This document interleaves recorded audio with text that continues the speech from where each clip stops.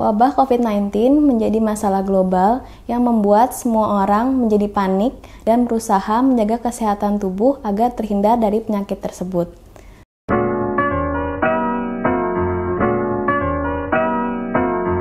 Hai, saya Dr. Enis dari Novis Dermatologi. Wabah COVID-19 menjadi masalah global yang membuat semua orang menjadi panik dan berusaha menjaga kesehatan tubuh agar terhindar dari penyakit tersebut. Salah satu yang dapat dilakukan yaitu dengan meningkatkan daya tahan tubuh. Karena daya tahan tubuh yang menurun lebih beresiko terkena virus corona.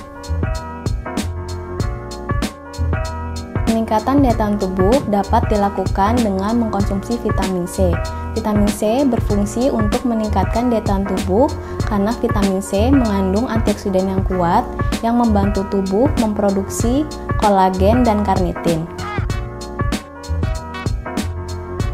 Vitamin C juga berperan sebagai agen antimikroba yang melawan berbagai mikroorganisme penyebab penyakit.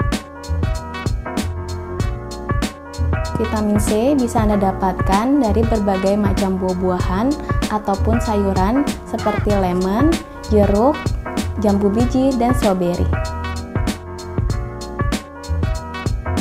Bagi Anda yang jarang mengkonsumsi buah-buahan ataupun sayuran, ada alternatif lain yang dapat dilakukan yaitu dengan treatment atau tindakan infus imun booster untuk membantu mencukupi kebutuhan vitamin C sehingga meningkatkan daya tahan tubuh dan membantu tubuh terhindar dari infeksi virus dan penyakit lainnya.